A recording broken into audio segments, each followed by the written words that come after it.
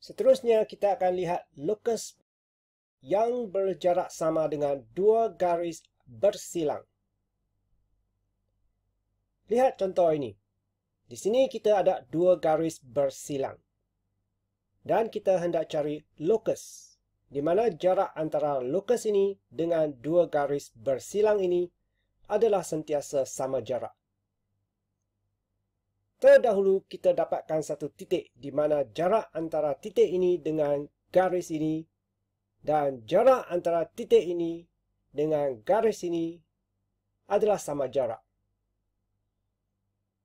Kemudian kita dapatkan titik yang kedua di mana jarak antara titik ini dengan garis ini dan jarak antara titik ini dengan garis ini adalah sama jarak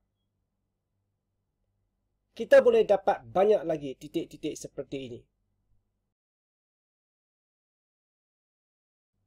Dan jikalau kita sambungkan titik-titik ini,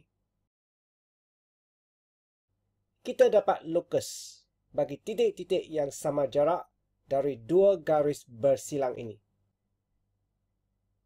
Perhatikan bahawa locus ini juga membahagi dua sama sudut ini kepada dua sudut yang sama saiz. Jadi, lokus bagi titik-titik yang sama jarak dari dua garis bersilang juga adalah pembahagi dua sama sudut kepada garis bersilang ini. Jikalau kita dapat dua garis bersilang begini,